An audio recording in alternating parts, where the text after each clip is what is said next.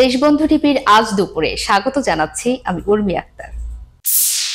বঙ্গবাজারের অগ্নিকাণ্ডে ক্ষতিগ্রস্ত ব্যবসায়ীদের ঘুরে দাঁড়াতে পর্যাপ্ত অনুদান দেবেন প্রধানমন্ত্রী শেখ হাসিনা।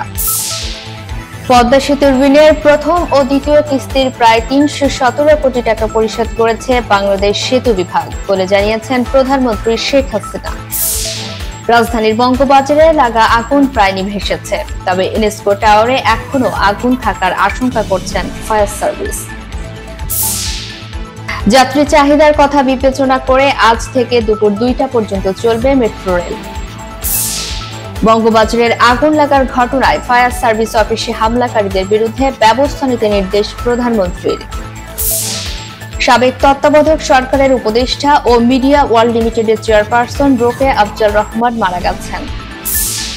বাংলাদেশের প্রতি সমর্থন অব্যাহত রেখেছে জাতিসংঘ।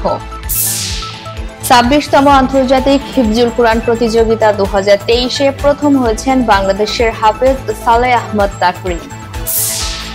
নাটোরে কলেজ ছাত্রী ধর্ষণের দায়ে ছয় জনের মৃত্যুদণ্ড ও চারজনকে যাবজ্জীবন কারাদণ্ড দিয়েছেন আদালত। মেসিকে বছরে প্রায় চার হাজার সাতশো কোটি টাকা দেওয়ার প্রস্তাব সৌদি ক্লাবের। দেশবন্ধু টিভির আজ দুপুরে পর্যন্তই। সবাইকে সাথে থাকার জন্য ধন্যবাদ।